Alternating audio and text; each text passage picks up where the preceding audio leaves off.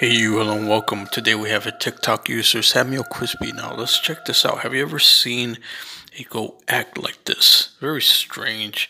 Not sure what's happening here. Let me know your best thoughts in the comments below. I'll see you. Bye bye.